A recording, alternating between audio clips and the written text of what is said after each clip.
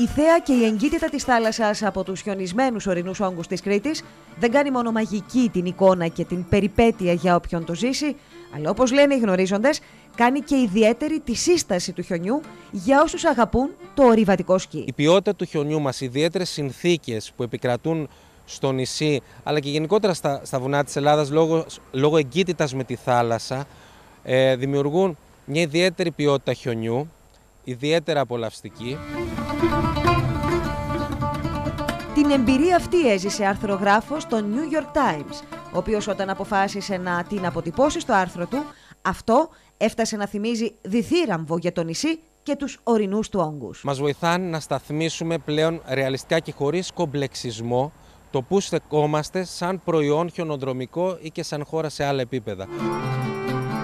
Ο γνωστός αρθρογράφος του Παγκοσμίου Αναγνώρισης Περιοδικού με τον χαρακτηρισμό της Κρήτης ως μοναδικό προορισμό για τους λάτρεις του ορειβατικού σκι κατάφερε να κάνει μέσα σε λίγες ώρες τους ορεινούς όγκους του νησιού να μοιάζουν με τη μεγαλύτερη έκπληξη για όσους γνώριζαν την Κρήτη αλλά ως ιδανικό προορισμό για τις καλοκαιρινές τους διακοπές. Δεν είμαστε η Μαλάια, ε, οπότε μπορεί ο άνθρωπος να έρθει, ο κάθε επισκέπτης να έρθει να ζήσει μια μικρή περιπέτεια μέσα σε ένα πλαίσιο όμως ασφάλειας ταυτόχρονα. Υπάρχουν οι πελάτες αυτοί οι οποίοι θέλουν και μπορούν να έρθουν στην Κρήτη όχι μόνο για τον ήλιο και τη θάλασσα και ο τρόπος για να τους προσελκύσουμε καταρχάς είναι οι τιμές και για να μπορέσουμε να βγούμε με τιμές ανταγωνιστικές πρέπει η πολιτεία να πάρει κάποια πολύ σημαντικά μέτρα.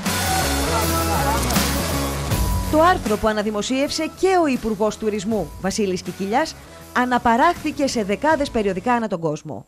Ευκαιρία για περαιτέρω αναγνώριση, όπως είπε, ένας από τους εμπνευστές του Πιέρα Κρέτα, του νοτιότερου στην Ευρώπη αγώνα ορειβατικού σκι. Η Κρήτη αλλά και η Ελλάδα είναι ένας τόπος που μπορεί να μην γίνει σε αυτή τη δραστηριότητα, αλλά είναι ένας τόπος που μπορεί να, τον αναδείξει, να την αναδείξει αυτή τη δραστηριότητα και να, την, να τη βιώσει κάποιος με τον καλύτερο δυνατό τρόπο. Ο Νικηφόρος Τιακάκης είναι ένας από τους ανθρώπους που αναφέρονται στο δημοσίευμα το New York Times, ο οποίος σημείο το σημείο μίλησε και έδειξε στον αρθρογράφο αυτή τη μοναδικότητα του νησιού. Βοηθάει να καταστεί περισσότερο γνωστός ο προορισμός ε, μέσα από ένα δημοσίευμα, δημοσίευμα ενός έγκυρου περιοδικού, το οποίο επιπρόσθετα κάνει πιο εύκολη τη δουλειά μας και στο ιστορικό της χώρας.